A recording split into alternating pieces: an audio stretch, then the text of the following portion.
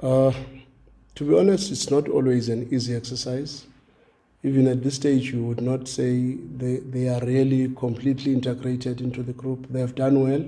They've scored some important goals. They've had some very good matches. But the integration process of players normally takes a little bit longer.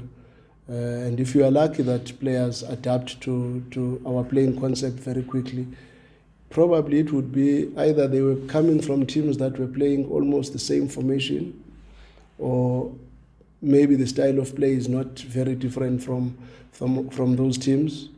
And uh, with our type of football, I think it's also easier to to to fit in if you are a technically gifted player because it's it's it's, it's a playing concept that requires a lot of finesse, a lot of movement a lot of intelligence and a lot of running, to be honest, because we we work very hard off the ball to try and make sure that we don't give a chance to the opposition. Uh, very few matches where we give away big chances, but when we give those few chances, it is probably because of one or two errors here and there. So it, it is normally very easy to bring uh, new players in into our system because even our identification process uh, requires that we look at what we think can influence our playing concept or our playing philosophy better.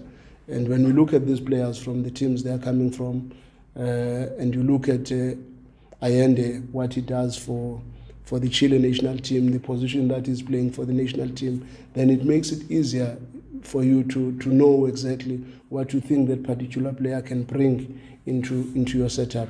The same thing with Nasir. We, we, we saw a lot of matches for him, and we saw him in his national team, and we know exactly what, what type of a specimen we are looking for to try and get us what we want to and what we believe will help us maybe in, in our attacking play. Then we must also congratulate them for being able to, to get into a team with so much pressure because it's not easy for, for all these players to, to come into this group of players and not lose their confidence.